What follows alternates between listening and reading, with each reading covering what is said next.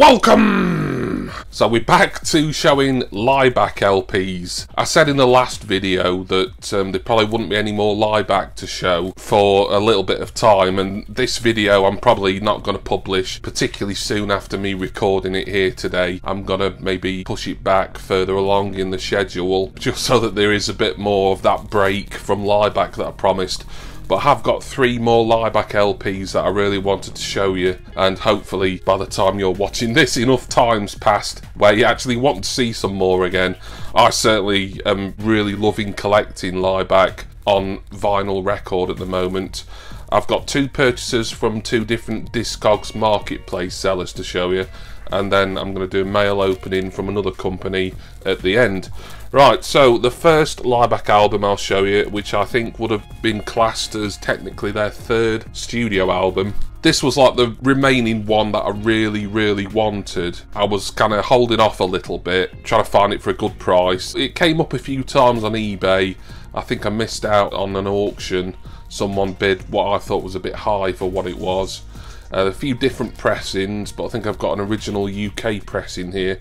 I'm talking about Opus Dei.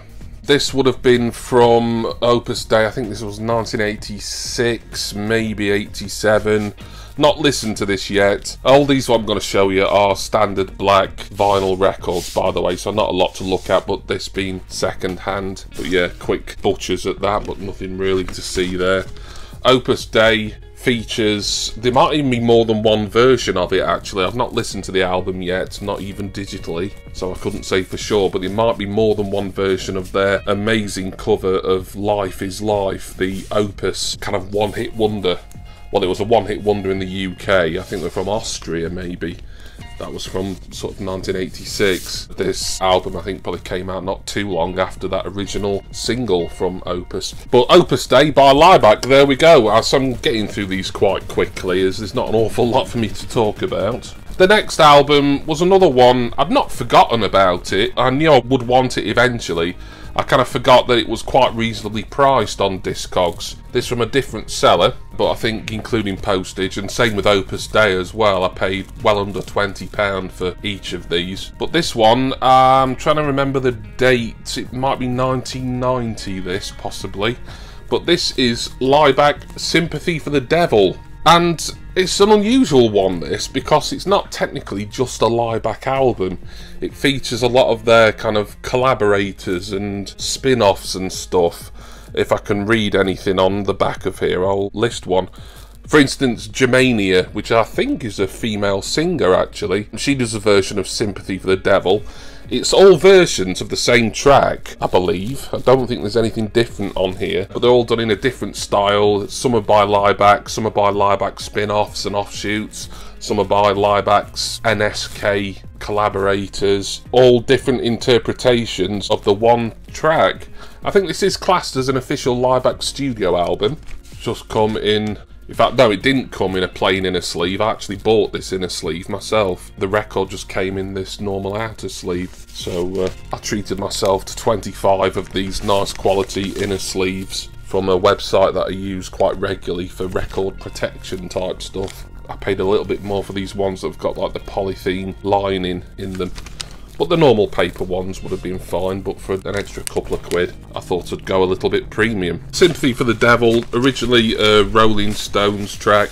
Not heard anything on here either. That's the thing with Laibach. Apart from the stuff that I heard years ago, which wasn't much really. Probably Life is Life, one of their versions of that, and maybe one or two other bits that I'd heard. And of course, when they uh, remixed Ohne dich by Rammstein some years ago, but until I started collecting them on vinyl, I'd not really heard hardly anything of theirs. Yeah, looking forward to that one as well. So we move on away from Discogs, where I've got a lot of Laibach, onto a site. I've only used these once before.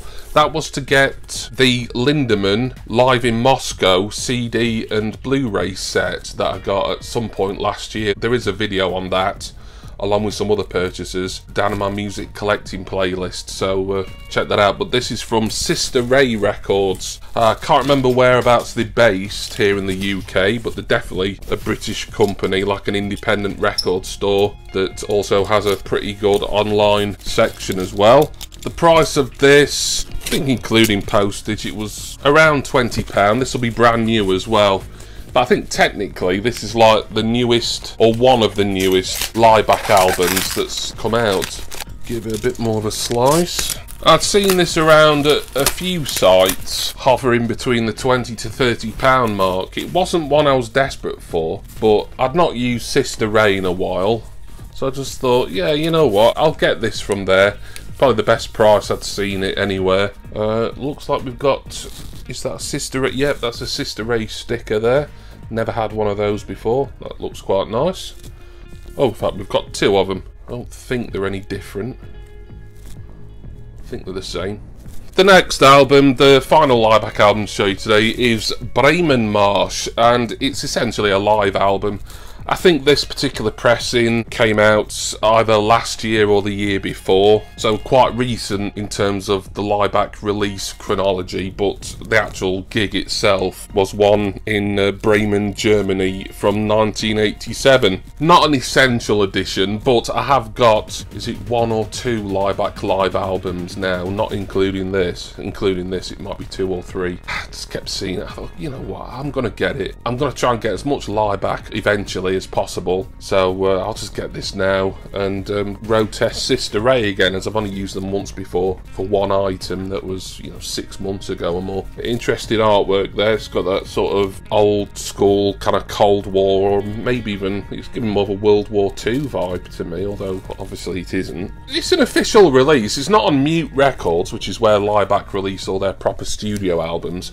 And on that subject, last night actually, I pre-ordered the brand new Laibach album. It's technically a soundtrack album rather than a studio one, but I've pre-ordered that from Mute Bank. That's coming out in June, so I'll definitely be showing you that when it comes out. Really excited about that, as that is obviously brand new Laibach music as opposed to something like this, which I'm looking forward to. I think it'll be a great listen, but it's just a live album from, God, almost 40, well, almost 35 years ago, really but um, still goes nicely in the collection.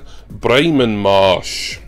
And there we are, three more Laibach records. The fourth video totally dedicated to this unusual, eccentric, but for me very exciting Slovenian avant-garde industrial band. Thoroughly enjoying collecting Laibach. There are bits still missing from the collection that are either just too expensive for me at the moment or haven't even come out on vinyl record. I could get a lot of this stuff on CD. In fact, I think the Bremen Marsch album does include a CD in with it anyway. They just double up for that. It's got the album on CD, even when you buy the vinyl record. I'll check that later on. Thank you all for watching, and special thanks, as always, to my wonderful subscribers and generous patrons please see my Patreon link, my Facebook group link, and lots of interesting affiliates, discount codes, and the like, all down in the description text box. I'm going to go now, and I'm probably going to listen to Opus Dei first. That's the one that I was really excited about out of these three. The other two, Sympathy for the Devil, I think I would have been going for that pretty soon anyway, had I not suddenly remembered that there was a seller selling it quite cheap. And uh, Marsch, bit of an inessential, almost impulsive purchase, but uh, still glad to have it. And I do hope that all of you will join me again next time for my next record collecting be that Laibach or someone completely different, you're probably hoping, collecting video. I've lost my trail of thought there. Cheers, everyone. See ya!